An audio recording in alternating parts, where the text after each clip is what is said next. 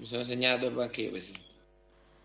Sì, eh, diciamo, abbiamo, dopo la rinumerazione che creano un poche difficoltà e lo spacchettamento degli emendamenti, eh, abbiamo esaminato con attenzione tutti eh, anche i pareri degli uffici. Insomma, questo parere in particolare, come ha richiamato lei, Presidente, che è inerente appunto sia all'articolo 49, cioè non sia, è inerente all'articolo 49 del TUE per le espressioni di parere, il TUEL recita che qualora il Consiglio voglia eh, esprimersi anche con contrarietà degli uffici debba darne la motivazione. Quindi la nostra motivazione è la seguente. Evidentemente gli uffici nella loro espressione di parere contrario hanno probabilmente frainteso il contenuto dell'articolo. Eh, Semplicemente perché? Perché l'articolo 16,3 del regolamento del Consiglio Comunale entra nel merito di quali sono i eh, poteri e le prerogative del Presidente d'Aula del Consiglio Comunale,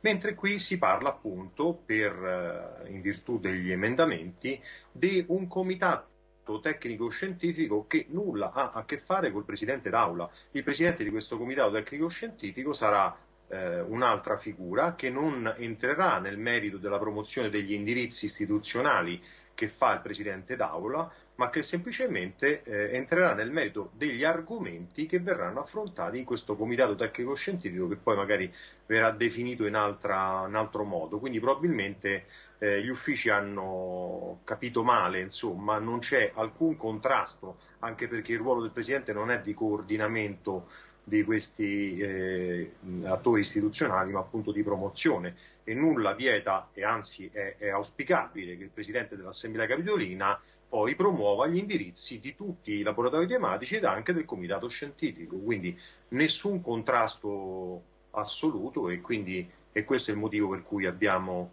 eh, voteremo sì a questo emendamento. Grazie.